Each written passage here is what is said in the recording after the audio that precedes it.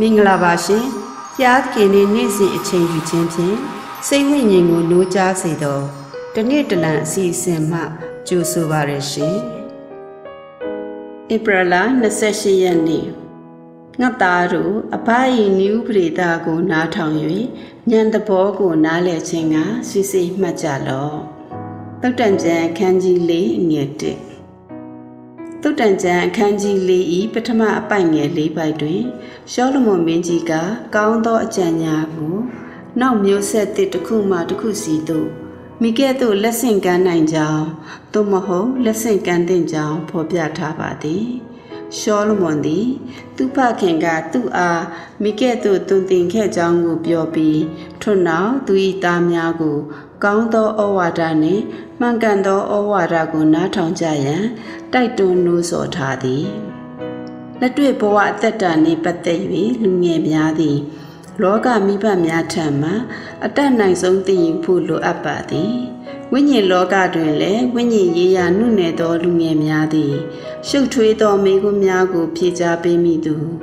သူတို့ကိုယ်တိုင်ယုံကြည်စိတ်ချနိုင်သည့်သူ အတွေ့အကြုံခံစားချက်များကိုလွတ်လပ်စွာရင်ဖွင့်နိုင်မိသူလိုအပ်ချက်များကိုပွင့်လင်းစွာလမ်းညွှန်ပေးနိုင်မိသူများကိုလိုအပ်ပါသည်မိဘများကဤခန္ဓာများကို ဖြည့်ဆည်းပေးနိုင်ရင်တာ၍ကောင်းပါသည်သို့သောမဖြည့်ဆည်းနိုင်ပါက ဖြည့်ဆည်းပေးနိုင်သောသူတယောက်ယောက်ကိုရှာဖွေသင့်သည်ရှင်းကျက်သောယုံကြည်သူများသည်လက်တွေ့ကျသောအသိပညာများကိုရရှိတာပြီးဖြစ်သည် သူတို့သည်ကြရှုံးခြင်းများကို တွေ့ကြုံခဲ့ပြီးဖြစ်ကြောင်းတန်တရားရှိเสียမလိုပါသို့သောထိုကြရှုံးခြင်းများမှသင်္ကန်းစာများလည်းရရှိပြီးနောက်တစ်ခါမိကဲ့သို့ရှောင်ရှားရမည်ကိုလည်းသူတို့ကောင်းကောင်းသိယူခဲ့ကြသည်ထိုရင့်ကျက်သောယုံကြည်သူများသည်မိမိတို့၏အသက်တာ၌ဟန်ချက်ညီရန်နှင့်တစ်ဖက်ဆုံးမရောက်ရန်သင်ယူခဲ့ကြပြီဖြစ်သည် ပညာရှိလူငယ်လေးဖြစ်သောတိမောသေသည် ရှင်ဘောလူဤပညာနှင့်အတွေ့အကြုံကိုကြိုးစားပြီးဆွဲထုတ်သင်ယူမိဖြစ်သည်သူကိုယ်သူအရှက်ရစေခြင်း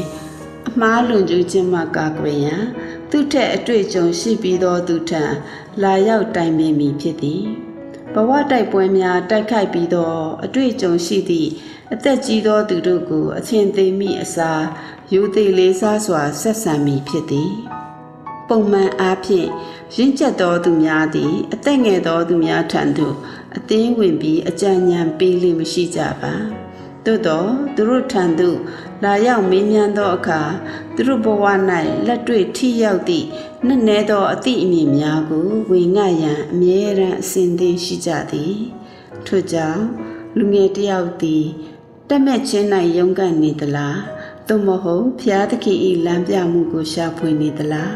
သို့မဟုတ်ဖျားသခင်အလိုတော်နှင့်ညီတော်မိသားစုကိုထူထောင်လိုသလားသို့မဟုတ်အမှုတော်အတွက်ဖျားသခင်ခေါ်နေသည်ဟုခံစားနေသလား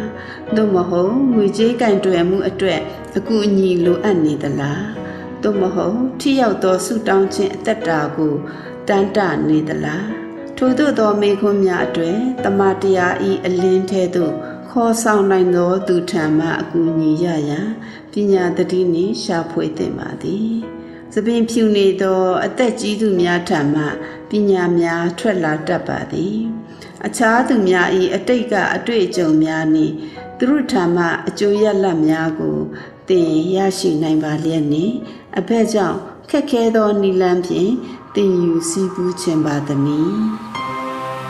။ဤစီစဉ်သည် နေ့စဉ်တင်ဆက်သောအစီအစဉ်ဖြစ်သောကြောင့်စောင့်မျှော်၍ဝိညာဉ်ခွန်အားယူပါရန်မေတ္တာဖြင့်နှိုးဆော်အပ်ပါသည်။